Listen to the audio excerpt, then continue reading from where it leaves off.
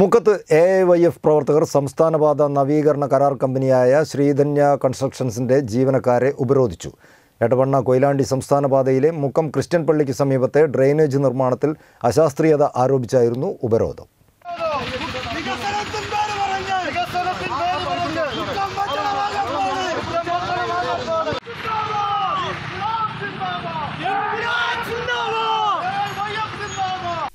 എടവണ്ണ കൊയിലാണ്ടി സംസ്ഥാന പാതയുടെ നവീകരണ പ്രവൃത്തിയുടെ ഭാഗമായി മുക്കം ക്രിസ്ത്യൻ പള്ളിക്ക് സമീപം നിർമ്മിക്കുന്ന ഡ്രെയിനേജിൽ അശാസ്ത്രീയത ആരോപിച്ചാണ് എ വൈ എഫ് പ്രവർത്തകർ കരാർ കമ്പനിയായ ശ്രീധന്യ കൺസ്ട്രക്ഷൻ ജീവനക്കാർ എത്തിയ വാഹനം ഉപരോധിച്ചത്.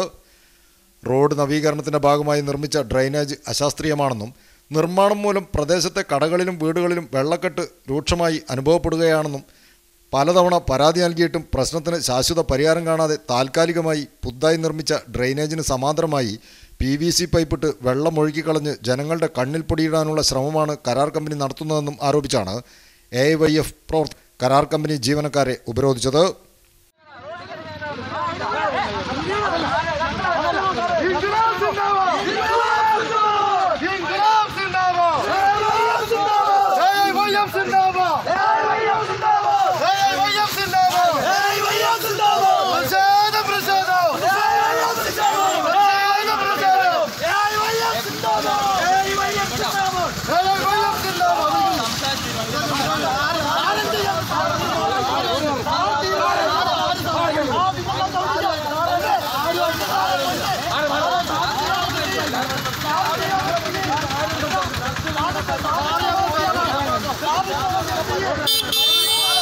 ഉപരോധത്തെ തുടർന്ന് മുക്കം പോലീസ് സ്ഥലത്തെത്തുകയും പ്രതിഷേധക്കാരുമായി നടത്തിയ ചർച്ചയുടെ അടിസ്ഥാനത്തിൽ ബുധനാഴ്ച ഉച്ചയ്ക്ക് പന്ത്രണ്ട് മണിക്ക് പി ഡബ്ല്യു ഡി ഉദ്യോഗസ്ഥരുടെയും എസ് ടി പി ഉദ്യോഗസ്ഥരുടെയും നേതൃത്വത്തിൽ ചർച്ച നടത്തി പ്രശ്നത്തിന് പരിഹാരം കണ്ടെത്താം എന്ന് ഉറപ്പു നൽകിയതിന്റെയും അടിസ്ഥാനത്തിലാണ് പ്രതിഷേധം അവസാനിപ്പിച്ചത്.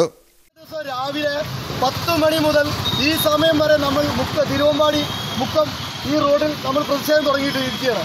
ഈ വേളയിൽ ബഹുമാനപ്പെട്ട എസ് ഐയുടെ നേതൃത്വത്തിൽ വന്ന ഒരു കൂട്ടം പോലീസുകാർ നമ്മളോട് വാക്കാൽ വാക്കാൽ പറഞ്ഞതാണ് നാളെ പന്ത്രണ്ട് മണിക്ക് ഈ വിഷയം ചർച്ച ചെയ്യാം. ബന്ധപ്പെട്ട ഉദ്യോഗസ്ഥരുടെ സാന്നിധ്യത്തിൽ ചർച്ച ചെയ്യാമെന്ന് പറഞ്ഞതിന്റെ അടിസ്ഥാനത്തിൽ ഈ മുക്കത്ത് ചേർന്ന ഈ പ്രതിഷേധ യോഗം താൽക്കാലത്തേക്ക് മാത്രം താൽക്കാലികം മാത്രമായി താൽക്കാലികം മാത്രം തിരിച്ചിട്ടുണ്ട് ചൊവ്വാഴ്ച രാവിലെയും എ വൈ എഫ് പ്രവർത്തകർ പ്രദേശത്ത് പ്രതിഷേധവുമായി എത്തിയിരുന്നു.